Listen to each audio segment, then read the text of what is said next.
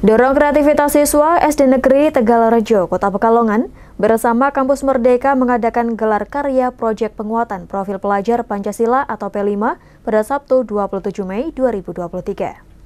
SD Negeri Tegalrejo, Kota Pekalongan bersama Kampus Merdeka mengadakan gelar karya Proyek Penguatan Profil Pelajar Pancasila atau P5 pada Sabtu 27 Mei 2023. Gelar karya ini merupakan puncak dari proses pembelajaran yang telah dilakukan siswa yang dirangkai dengan acara dari Festival Literasi dan Numerasi. Kegiatan ini juga sekaligus mendorong kreativitas para peserta didik melalui kegiatan kewirausahaan Beragam menu jajanan tradisional karya siswa dan orang tua pun dipamerkan dalam bazar jajanan. Mulai dari klepon, tahu gejrot, jagung keju, aneka es, serta menu olahan tradisional lainnya.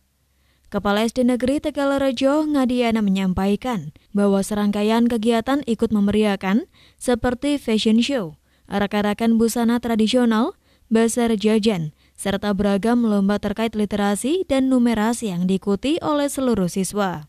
Untuk kegiatan di pagi hari ini bersambung dengan hari yang kemarin, nah, hari ini juga ada kegiatan, ada lomba cerdas cermat, kemudian ada fashion show anak-anak, kemudian nanti ada sedikit eh, apa namanya itu eh, gelar karya bagi anak-anak untuk kelas 1 sampai kelas 6 SC Tegaljo dengan tujuan eh, menunjukkan bahwa uh, apa, uh, di kurikulum yang baru kurikulum mereka walaupun masih berjalan kelas 1 dan kelas 4 namun uh, kita dukung semuanya kegiatan ini berlaku 1 sampai kelas 6 nah.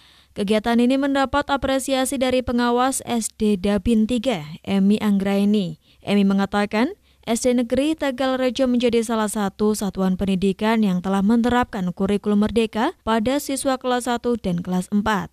Ia berharap kegiatan ini dapat mendorong para siswa menjadi siswa yang berkarakter, memiliki jiwa kewirausahaan, mandiri, serta berkebinekaan global. Untuk mengarahkan pada pembentukan karakter pada siswa, sehingga untuk gelar karya ini merupakan salah satu kegiatan rentetan kegiatan dari P5 yang menunjukkan bahwa anak-anak kita terutama dalam pembentukan karakter itu sudah ada perubahan.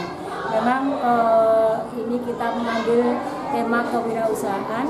Salah satunya adalah mengajari siswa untuk menyerah, kemudian untuk mandiri, bagaimana cara menjajahkan eh, jajan-jajan uh, yang ada yang telah dibuat oleh anak-anak sehingga anak-anak terbiasa dengan kehidupan-kehidupan yang mandiri. Ini tujuan dari salah satu P5 seperti itu.